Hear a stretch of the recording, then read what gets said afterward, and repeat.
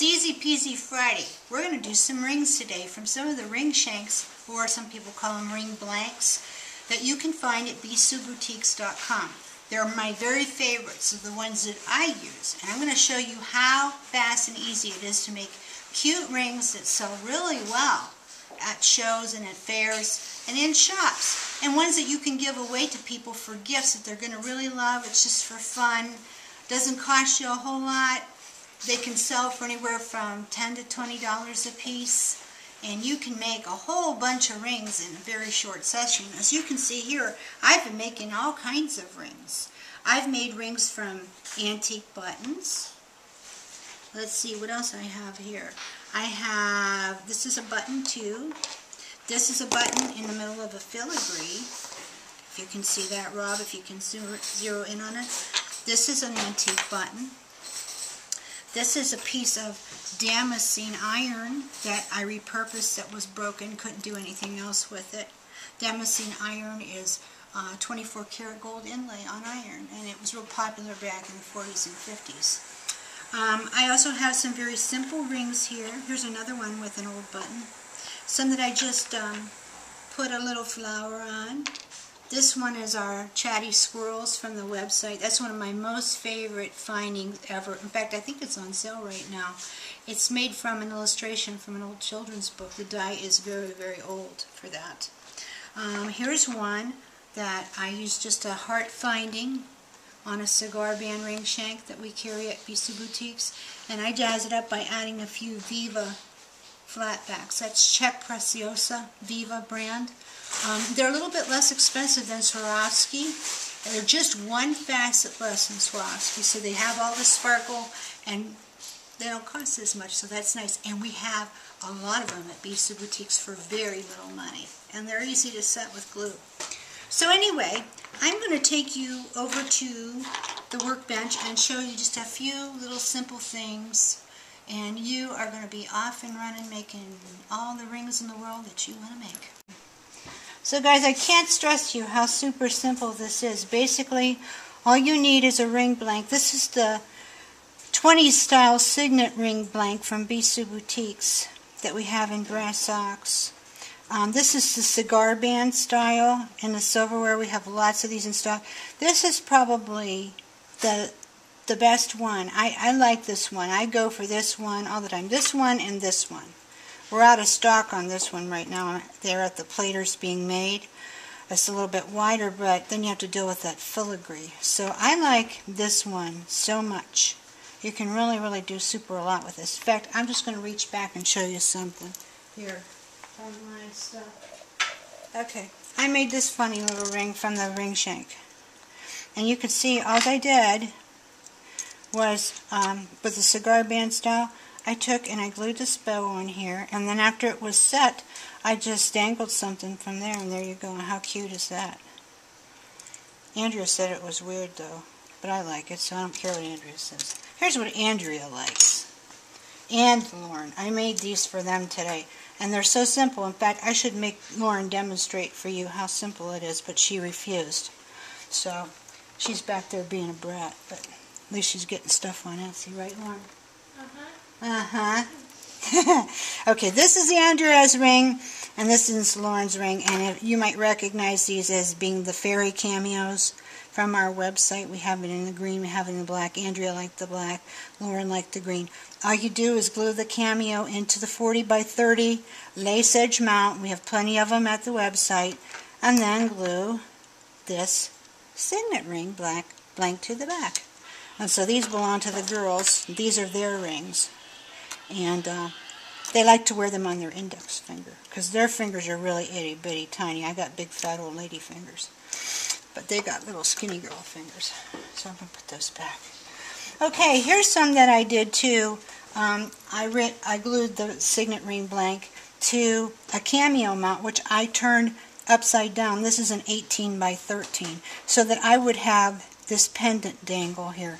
So then that way I can take a jump ring and use my jumpy tool and for this one I'm going to need the wide setting open it Did you ever see me use a jumpy tool? I'm going to do that again just in case you don't know about jumpy tools. This is how they work. I put them on my middle finger for leverage. I take the jump ring and it's got slits to fit your jumps. I need the fattest ring here because this is a thick ring. Stick it in there. Take your pliers and twist it open. You never pull out. You always twist sideways. Then I'm going to put this through here and then I'm going to take, I think I might layer this one. So I'm going to put this heart and I'm going to put this heart that says I love you. I love you Mona Lisa. And twist close. And when you twist close, you always want to get it real nice and flush so it appears to be seamless and will not pull open. That's another reason like I like why I like an oval or an or a heavy jump ring because it doesn't tend to open. And there I've got one with a dangly thing on it. See if I can get it on there. Oh, don't you love my ring? Yes, that's so fun. So you can see how simple it is. There's nothing to it, nothing at all. Now many like to use these jump rings. But as you can see, what happens is sometimes, sometimes they plate darker on one side. And that is because when they go through the plating bath, they're like this. Why? I swear I don't know, but they are. Excuse me. So what you might have to do is take a sunshine cloth and you might want to buff that out or take your nail buffer and buff it out a little bit and you, all it is is um, antiquing. And sometimes there can be a little blackening inside too. So the way to deal with that is this product called jewelry shield. And honestly if you're selling rings it's a really good idea to paint the insides of your rings with this stuff one or two coats, light coats, let it dry 20 minutes in between. And the reason is, is some people have allergies. Um, the brass ox finish is not a precious metal finish, it's, it's brass finish. So people are allergic to brass. The plate, the parts are brass based. Some people are allergic to, bra to brass, and it can even go through plating. So if you put a coat or two of this on the inside, just paint it on. In fact, you know what? I'm going to do one. You just, it looks like nail polish, right? And all you do is just paint it on the inside. Very lightly. Coat it. This is a brand new bottle. I don't know why it's kind of pulled apart like that. But it's working, so it don't matter.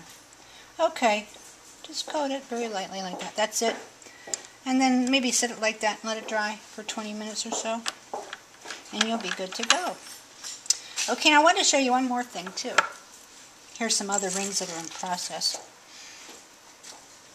This is what I use sometimes to get my rings to dry properly because, you know, they're circular, circular and they may not want to set up well. So I just get a block of styrofoam and I make holes in it so I can stick them down in. Sometimes I put them face down. Now I'll have to clean that up because it's got a little styrofoam on it. When it's very dimensional like that, sometimes I'll put them face down. This one was on an old button. Sometimes I'll put them face up. This heart just came in. I used to have these in only vintage, but now they have uh, redone the die and making them again. This one is very cool. It's a bug. This is the flat bottom beetle finding from our website. And I took and I put a 25 by 18 um, 50s plastic glitter cab in there. You can also make them from resin. And then I glued some leaves on and then a little flower with a pearl. And now I got a bungaroo. And this is not a new idea. I used to make these all the time when I did shows. In fact, I don't know, Robbie, if you go turn up just right here to this this frog, you'll see. See, from the same finding, these pieces are like mm, 10, 12 years old. So I've been doing that a long time. And it's just kind of a common use of the product. It works out really nicely. I did some of the Mr. Feathery Owl, and I did a matching on um, the silverware. And now I'm going to put little Viva flatbacks in his eyes. So that'll be cool too. But anyway, hopefully you can see this is super simple.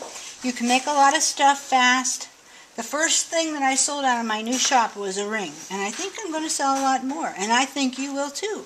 And plus, your friends will enjoy getting them from you as gifts. So, um, if you want to come on over to bsueboutiques.com, we have all the resin flowers and little 18 by 13 cameos and bezels and mounts and frames and and the, these fairy cameos, all the jump rings, everything you need to make this stuff is right there at very good prices. And uh, we hope to see you soon.